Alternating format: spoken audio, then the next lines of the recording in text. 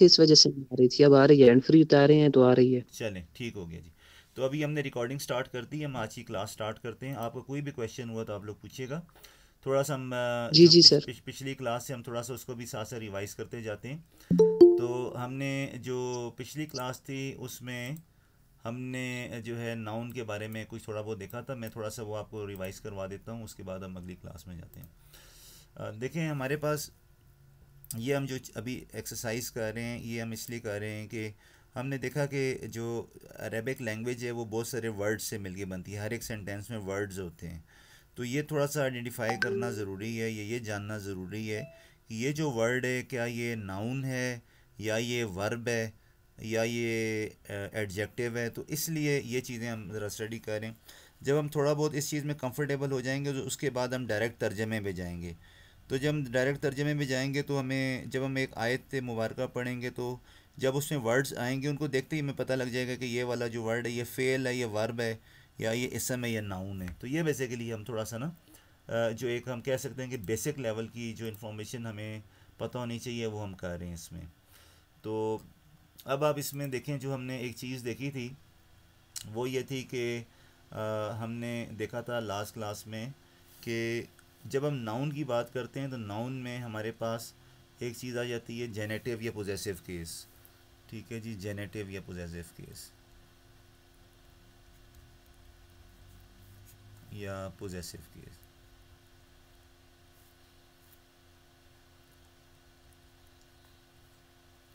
ठीक है जेनेटिव या पोजेसिव केस तो जेनेटिव या पोजेसिव केस का क्या मतलब है कि जब हमने देखिए पोजेशन का मतलब होता है कब्ज़ा।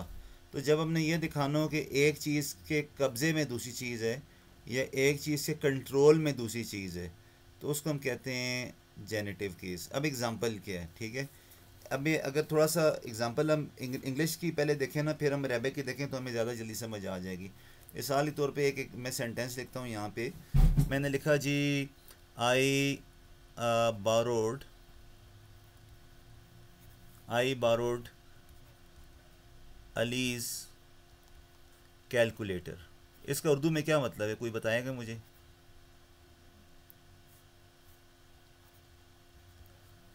इसका मैंने अली मतलब? का जी। मैंने अली का कैलकुलेटर लिया या हासिल वेरी गुड ठीक है तो ये इसका उर्दू में तर्जमा हो गया कि हमने मैंने अली का कैलकुलेटर लिया। ठीक है जी? अब इसमें जो चीज़ है वो ये है कि ये जो है आ, अली जो है ठीक है ये जो अली जो आ रहा है ठीक है ये जो अली आ रहा है ये हमारे पास जेनेटिव इसको हम कहेंगे जेनेटिव केस में आ रहा है ठीक है अली जो आ रहा है ये जेनेटिव केस हो गया इसको हम कहेंगे जेनेटिव केस ठीक है ये जेनेटिव केस हो गया। और ये जो हमारे पास आ रहा है कैलकुलेटर कैलकुलेटर जो है आ गया पोजेशन में, ये पोजेसिव आ गया। ठीक है, ये पोजेसिव आ गया। ठीक है तो यानी कि नाउन रिसीविंग ये वो नाउन है जिसने पोजेशन लिया हुआ है। Noun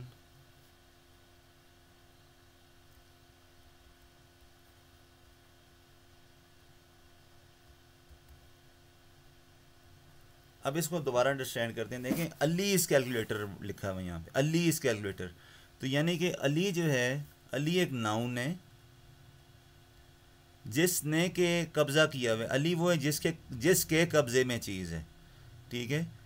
तो और कैलकुलेटर वो चीज़ है जो के कब्ज़े में है। ठीक है?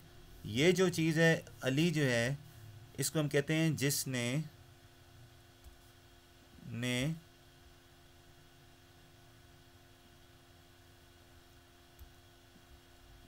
कब्ज़ा किया है। और कैलकुलेटर क्या है? जो चीज़ कब्ज़े में है।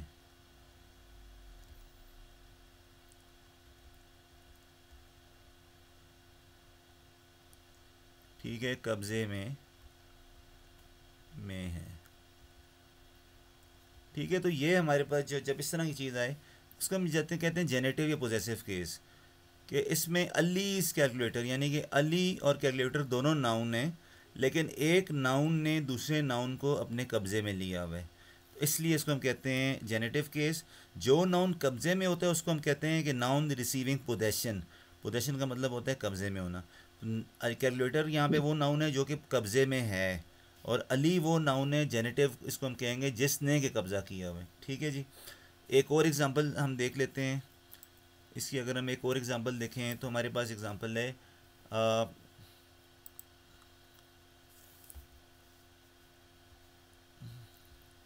our house is blue our house is blue अब देखें, यहाँ पे ये जो आवर है, ये एक नाउन को रिप्रेजेंट कर रहा है तो प्रो नाउन हो गया इस केस में। एक ऐसी चीज़ जो कि नाउन को रिप्रेजेंट करती है प्रो नाउन हो गया। अब ये वो जेनेटिव केस आ गया। ठीक है? और हाउस जो है, ये वो चीज़ है जो कब्ज़े में तो ये आ गया नाउन रिसीविंग पोजेशन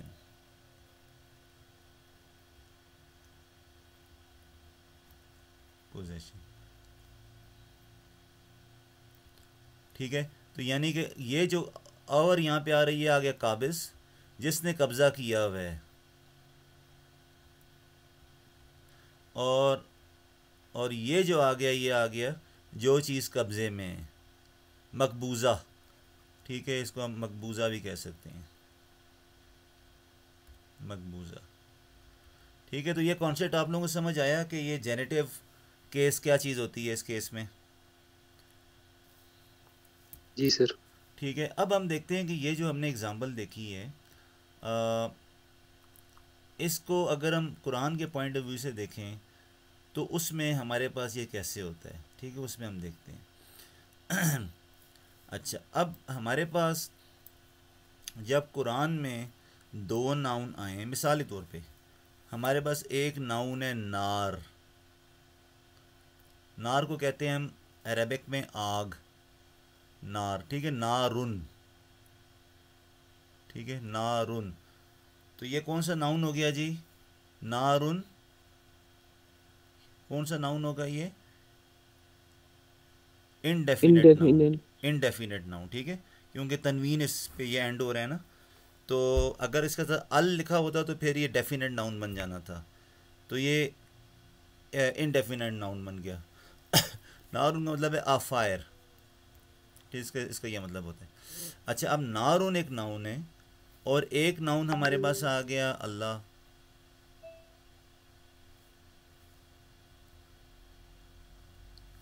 ठीक है जी।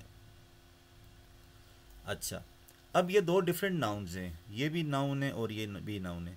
लेकिन यहाँ पे ये नाउन जो आ रहे हैं, अगर ये पोजेसिव फॉर्म में आ रहे हैं जैसे अभी हमने ऊपर देखा, अगर ये पोजेसिव फॉर्म में ये नाउन आ रहे हैं तो आप लोग मुझे ये बताएँ कि कौन सा नाउन किस को पोजेस कर रहा है इसमें? कौन सा नाउन किस को पोजेस कर रहा है? कोई बता सकता है? यानी किस नाउन के कब्जे में कौन सा नाउन है? और नारुन पोजेस्ड है। वेरी गुड क्योंकि देखो आग जो है वो अल्लाह ताला ने बनाई है। तो इसका मतलब है कि अल्लाह ताला के कब्ज़े में आग है। ठीक है जी। तो जब हमारे पास नाउन दो नाउन पोजेसिव फॉर्म में आ जाएँ तो उनको फिर हम कैसे लिखते हैं? वो हमारे पास बन जाएँगे पोजेसिव फॉर्म में। इस तरीके से बन जाएँगे कि ये जो हमारे पास तनवीन आ रहा है, इस नाउन के पहले नाउन की वजह तनवीन आ रहा है, ये तनवीन ड्रॉप हो जाएगा। ये तनवीन यहाँ से ड्रॉप हो जाएगा, ठीक है? तो ये हमारे पास बन जाएगा, नारुल्लाह। नारुल्लाह। नारुल्लाह बन जाएगा, ठीक है? तो इसमें हमारे पास क्या होगा? तनवीन ड्रॉप हो जाएगा। तो ये आप यहाँ पे देखो, ये रूल लिखा हुआ है यहाँ पे। ठीक है, ये रूल लिखा हुआ है। और ये रूल ये कहता है कि when two nouns come together in the possessive form the तनवीन is drop from the first noun while the corresponding हरका विल रिमेन यानी इसका मतलब ये है कि अब नारुल्लाह तो नारुल्ला में से तनवीन ड्रॉप हो जाएगा। और जो हरका है यहाँ पे, हरका कौन से होते हैं? ज़ेर ज़बर पेश। तो ये जो हरका है, ये यहाँ पे आ जाएगी। तो हमने देखा यहाँ पे हमने पेश लगा दी। तो ये एग्ज़ाम्पल होगी एक पोजेसिव फॉर्म की। अच्छा अब आप लोगों में से कोई मुझे ये बता सकता है कि नारुल्ला उसने कहाँ देखा है कुरान पाक में? याद है किसी को? कि उसने कहाँ पढ़ा था नारुल्ला है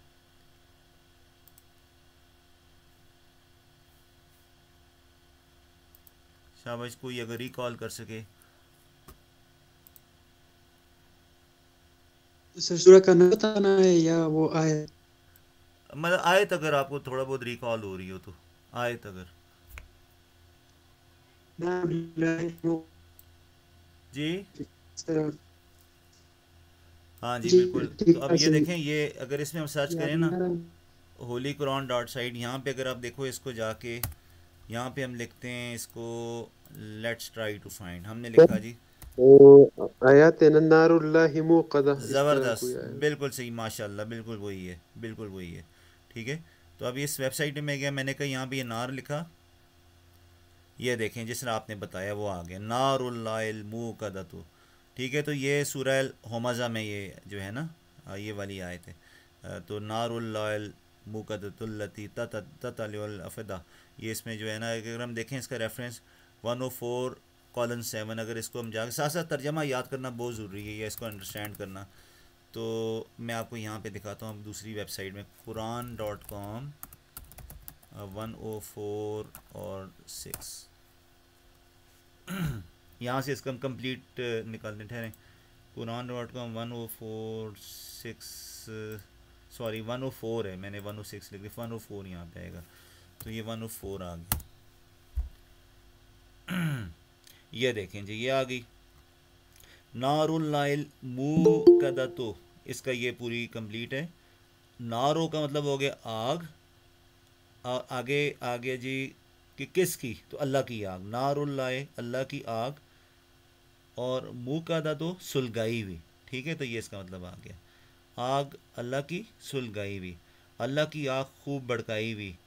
सैयद अबू अली मदूदी साहब का तर्जमा है और मौलाना मोहम्मद जूना गढ़ी कहते हैं, जी, वो अल्लाह की आग सुलगाई हुई आग होगी। ठीक है तो ये इसका बेसिकली आ गया। लफ्ज़ी तर्जमा ये है कि नार का मतलब हो गया आग। नारुल्ला, अल्लाह की आग और मुँह का दतों का क्या मतलब है? सुलगाई भी तो आज जो आपकी एक वोकेबलरी में नया वर्ड आ रहा है, वो मुँह का दतु है। ठीक है, मुँह का दो का मतलब है कि सुलगाई हुई आग। अच्छा जी। तो ये एग्ज़ाम्पल एक हमने देखी, इस तरह हम और एग्ज़ाम्पल्स भी देख सकते हैं, जिसमें पोजेशन हमें नज़र आ रहा हो। आप ये वाली एग्ज़ाम्पल देखें, यहाँ पे लिखा हुआ है रसूल एक नाउन है और अल्लाह एक नाउन है। तो जब ये दोनों जुड़ जाएँगे तो ये जो हमारे पास तनवीन है, यानी कि दो पेशें जो हैं, ये लाम लाम के ऊपर ये ड्रॉप हो जाएँगी तो रसूलुल्लाह यहाँ पे हमारे पास जो है वो बन गया अल्लाह के रसूल। रसूलुल्लाह का मतलब है अल्लाह के रसूल सल्लल्लाहु अलैहि वसल्लम।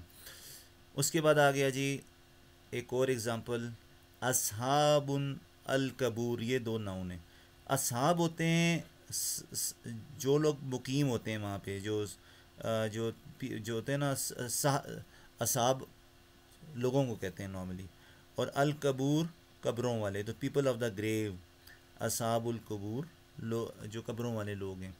ठीक है ये इस तरह हमारे पास है किताब उन कुम। इन दोनों को जब हम कुम का मतलब अब ये भी बहुत इंपॉर्टेंट है आप लोग इसको अंडरस्टैंड करो। देखो किताब उनका मतलब होता है किताब और कुम जो होता है ना ये जब भी आप कुरान पाक में आप देखोगे तो कुम का मतलब होता है तुम। ठीक है? ये, ये तुम्हारा आपके लिए यूज़ होता है। लकुम लकुम का मतलब है तुम्हारे लिए। ठीक है? तो कुम जब भी आएगा तो कुम का मतलब है कि योर की तरफ़ रेफ़र होगा, या आपके लिए रेफ़र होगा। तो किताब व कुम, दोनों नाउन जो हैं, ये जुड़ गए, किताब व कुम बन गया। अब यहाँ पे जो है हमारे पास जो नाउन पोजेशन में है, वो किताब उन है। ठीक है? तो किताब उन जो है पोजेशन में है नाउन तो तुम्हारी किताब बन गया ये, किताब उन कुम। अच्छा उसके बाद आ गया बैतुन का। अब ये दो नाउन है। का का मतलब होता है आप, ठीक है? आपका। तो अब यहाँ पे आप देखें बैतुन का तो ये हो गया आपका घर आपका घर, ठीक है? योर हाउस आपका घर हो गया बैतुन का। दोनों जुड़ जाएँगे तो ये हो गया बई तो का बन जाएगा और इसका मतलब है आपका घर, ठीक हो गया जी। तो ये कुछ एग्जांपल्स हो गई हैं जो कि हमने देखा पोजेसिव केस में। और पोजेसिव केस का क्या मतलब है कि जब दो नाउन साथ साथ आ रही हूँ और एक नाउन जो है उसने कब्ज़े में लिया हो दूसरे नाउन को तो उस केस में हम पोजेसिव केस उसे कहेंगे दोनों नाउन्स में। और उसके बाद हम करेंगे क्या कि जो पहला नाउन होगा आ, उस नाउन की हम तनवीन ड्रॉप करके हरका लगा देंगे यानी ज़ेर ज़बर पेश ये उसमें रहेगी तनवीन हम ड्रॉप कर देंगे। और जो सेकंड नाउन है उसमें जो है कसरा या जो है तनवीन कसरा ये हम यूज़ करेंगे। तो ये हमारे पास एग्ज़ाम्पल होगी पोजेसिव केस की। ठीक है? ये आपको क्लियर हो गया ये वाला जो हमने देखा पोजेसिव केस जिसमें दो नाउन साथ साथ आते हैं। ठीक है जी अल्हम्दुलिल्लाह। अब हम जो नेक्स्ट जो एग्ज़ाम्पल है हम वो देखते हैं कि नेक्स्ट हमारे पास क्या एग्ज़ाम्पल हो सकती है। नेक्स्ट जो हमारे पास जो टाइप होती है उसको हम कहते हैं नॉमिनेटिव केस ठीक है ये जेनेटिव पोजेसिव केस अब आ गया नॉमिनेटिव केस इसको हम थोड़ा सा देख लेते हैं ये क्या चीज़ है? नॉमी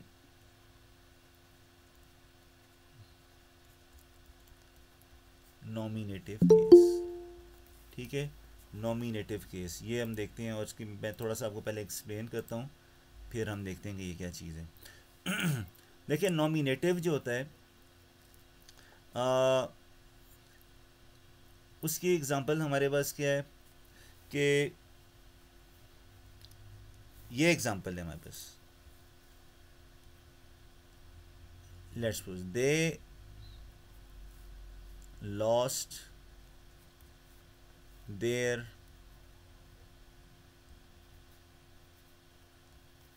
dog ठीक है जी। अब ये जो इसमें, ये जो सेंटेंस मैंने लिखा हुआ है, ठीक है जी? आप में से कोई मुझे बता सकता है कि इसमें सब्जेक्ट कौन सा है? हमारे पास अंग्रेज़ी में तीन चीज़ होती है ना, एक होता है सब्जेक्ट एक होता है वर्ब और एक होता है ऑब्जेक्ट तो आप में से कोई रिकॉल कर सकता है कि ये जो सेंटेंस है, इसमें सब्जेक्ट कौन सा है?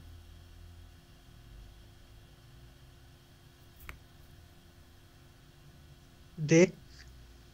दे। ठीक है? ये सब्जेक्ट आ गया। ठीक है जी, ये सब्जेक्ट आ गया हमारे पास, दे। और ये सब्जेक्ट आ गया। और ये जो है, ये आ गया हमारे पास वर्ब और ये आ गया ऑब्जेक्ट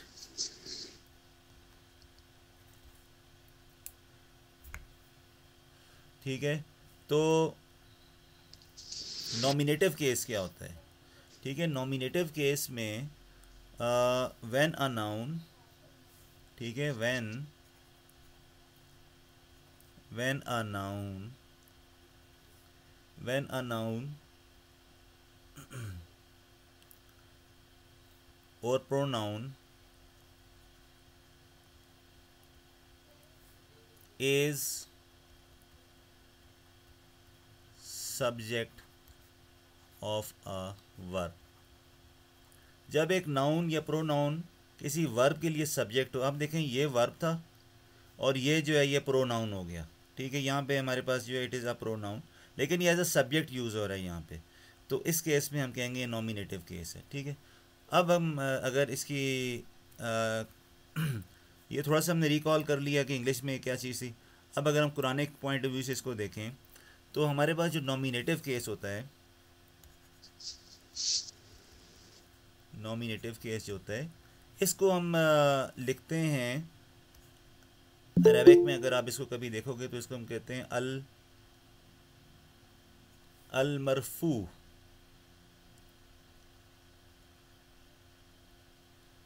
ठीक है अलमरफू इसको हम लिखते हैं। और हालत हालत रफ़ा। हालत अर्रफ़ा ठीक है तो ये अरबिक में इसको हम अलमरफू हालत रफ़ा में लिखते हैं। ठीक है तो अरबिक में भी एग्जैक्टली सेम है, क्या है? When the noun is subject of a verb या डूअर ऑफ़ द वर्ब ठीक है? तो जब एक नाउन सब्जेक्ट बन जाए तो वो हम कहते हैं कि ये हमारे पास नॉमिनेटिव केस आ गया। एग्ज़ाम्पल देखने लिए हम इसी के।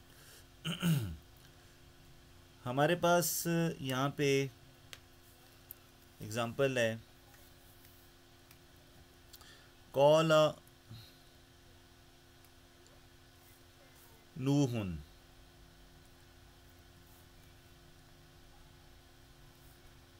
ठीक है जी, कॉल नूहन ये एक एग्ज़ाम्पल है। ठीक है। अच्छा अब ये जो एग्ज़ाम्पल है इसमें आप मुझे बताएँ कि सब्जेक्ट कौन सा है और वर्ब कौन सा है?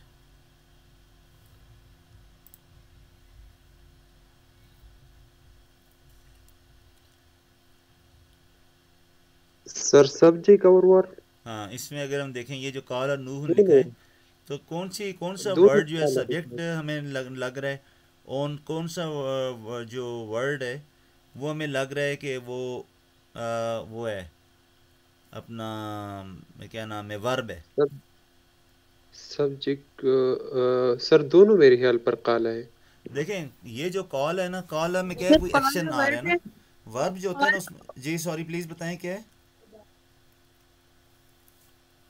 सर काला जो है वो वो सब्जेक्ट है। जी जी। और नूह जो है वो वर्ब है। वेरी गुड वेरी गुड देखें उसकी वजह ये है कि नहीं नूह जो है वो वर्ब है। नू नू सब्जेक्ट है। कॉला देखें कॉला जो है ना उसमें एक्शन परफॉर्म हो रहा है यहाँ पे। अब देखें ये जो है ना कॉला यानी उसने बात की ये इट इज़ एन एक्शन तो वर्ब क्या होता है जिसमें कोई एक्शन परफॉर्म हो रहा हो? और नूहन जो है वो वो हमारे पास सब्जेक्ट आ गया जिसने एक एक्शन परफॉर्म किया। ठीक है? यानी कि ये जो एक्शन है, ये क्या है? ये वर्ब हो गया। तो हम क्या कहते हैं जी? नॉमिनेटिव केस क्या होता है? जिसमें कि एक नाउन जो है, वो सब्जेक्ट होता है एक वर्ब के लिए। अच्छा वर्ब क्या होता है? जिसमें कोई एक्शन परफॉर्म हो रहा हो। यहाँ पे एक्शन क्या हो रहा है? बात हुई। कॉल, यानी बात की गई है, कहा। तो ये वर्ब हो गया। किसने किया? यानी सब्जेक्ट कौन था? किसने किया? वो यहाँ पे नू आ गया। ठीक है? तो अब इसलिए हम इसको कहते हैं कि ये नॉमिनेटिव केस है। नॉमिनेटिव केस में ये जो नाउन हमारे पास है नूहन ये हमारे पास आ गया। एक सब्जेक्ट किसके लिए? एक वर्ब के लिए। ये वर्ब ये ये वर्ब है हमारे पास कॉल तो इसके लिए नूहन जो है ये एक सब्जेक्ट है फॉर दिस वर्ब ठीक है ये पॉइंट आप लोगों को क्लियर हुआ? Yes sir very good sir एक और एग्जांपल इसमें अगर आप लोग देखो तो हमारे पास जो दूसरी एग्जांपल है, वो है वन शक्कल कमर। मैं यहाँ पे लिखता हूँ इसको।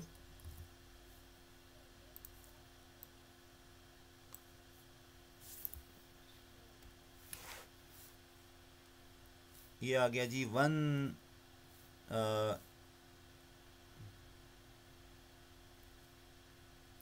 शक्कल कमर और हमारे पास जो शक का मतलब होता है वन शक इसका क्या मतलब है? किसी को याद है क्या मतलब इसका? सर शक्ल तोड़ना कह सकते हैं वेरी गुड वेरी गुड माशाल्लाह। ठीक है? तो फट पड़ना। ठीक है? चाँद का स्प्लिट हो जाना टूट जाना तो, तो उसको हम कहते हैं शक्कल कमर चाँद का स्प्लिट हो जाना। ठीक है जी? तो ये हमारे पास जो है ये आ गया। अब आप देखो। अब आप मुझे बताओ कि इसमें से वर्ब कौन सा है और सब्जेक्ट कौन सा है? सर वन शक सब्जेक्ट कमर सर और अब देखें ये जो चीज़। है ना ये एक एक्शन परफॉर्म हो रहा है। ठीक है यहाँ पे एक एक्शन हो रहा है। यानी स्प्लिट हो जाना स्प्लिट हो जाना या फट जाना ठीक है तो ये एक एक्शन है। तो इसका मतलब है कि ये जो वन शक है ये वर्ब आ गया। ठीक है? और क्या चीज़ स्प्लिट हो रही है? सब्जेक्ट क्या है यानी कि इसका? वो आ गया हमारे पास कमर।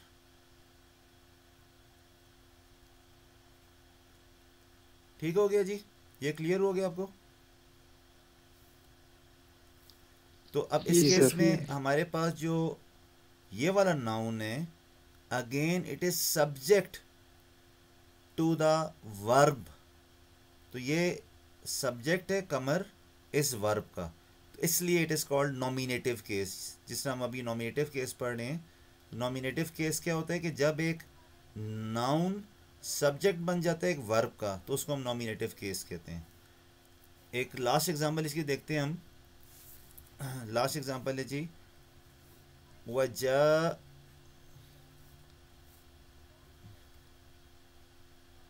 अत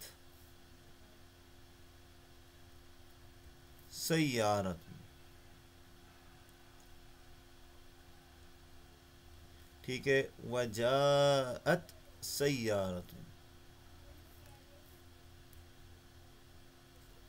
अच्छा अब ये जो सयारत, उनका मतलब होता है ना, इसका मतलब काफिला। काफिला या इसको अंग्रेज़ी में हम कहते हैं कैरावान। अंग्रेज़ी में हम कहते हैं कैरावान। वजात जात जात का मतलब आता है किसी को? सर मतलब वजात गया।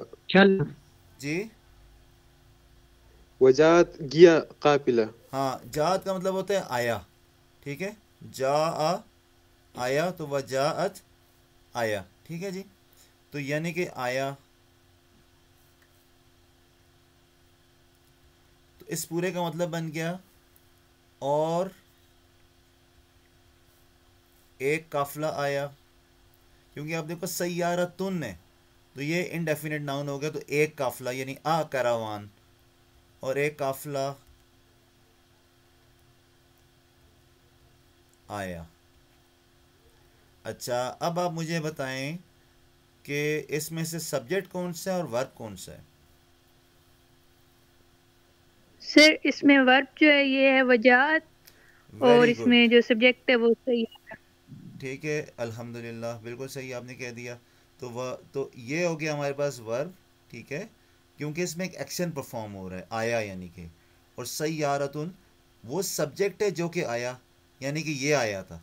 तो ये हमारे पास आ गया सब्जेक्ट ठीक है? तो अब ये हमारे पास एग्जांपल होगी अगेन नॉमिनेटिव केस की। तो ये हमने तीन एग्जांपल्स देखी हैं। नॉमिनेटिव केस की, इसको थोड़ा सा मैं क्विकली बता दूँ कि देखें नॉमिनेटिव केस कब कब होते हैं? When the noun is the subject और डूअर ऑफ़ अ वर्ब यानी कि नाउन वो होता है जिसने वो एक्शन परफॉर्म किया हो। इसमें दो चीज़ें कॉल एक्शन हुआ है, नूहन, हज़रत नू अलैहिस्सलाम ने ये एक्शन परफॉर्म किया है। तो इसको हम इसलिए कहेंगे नॉमिनेटिव केस वन शक्ल कमरो एक्शन क्या परफॉर्म हुआ? मून वाज स्प्लिट यानी चाँद फट गया। और जो एक्शन जिस जिसके ऊपर परफॉर्म हुआ जिसने किया वो कमर हो गया। यानी चाँद जो है तो वो चीज़ थी जो फटी। वह जात सैारा तो, तो इसमें एक्शन क्या परफॉर्म हुआ? आया एक काफिला। आया जो है एक्शन हुआ। और क्या चीज़ आई? काफिला। तो काफिला हमारे पास जो है डूअर ऑफ़ द वर्ब हो गया। यानी कि इसने ये काम किया तो इस केस में हमारे पास क्या होता है कि when the noun is the subject और doer of the verb it will bear दमा यानी कि या इसके ऊपर आएगी पेश, और तनवीन दमा या दो पेशें आएँगी। ठीक है? तो द नाउन विद दमा will be in nominative case तो जो जो हमारे पास जिसके ऊपर ये दमा आ रहा है, वो नॉमिनेटिव केस बन जाएगा। तो अब यहाँ पे नूखुन जो है, ये हमारे पास नॉमिनेटिव केस है, अलकमर नॉमिनेटिव केस है, और ये सयारत नॉमिनेटिव केस है। ठीक है जी? तो ये हमारे पास एग्जांपल होगी। जब हम बात करते हैं नॉमिनेटिव केस की। तो आज हम इतना ही करेंगे कोई आप लोगों को ये पॉइंट क्लियर हो गया ये वाला? जी सर यस सर ठीक है सर तो है। जी तो माशाल्लाह बस आप इसको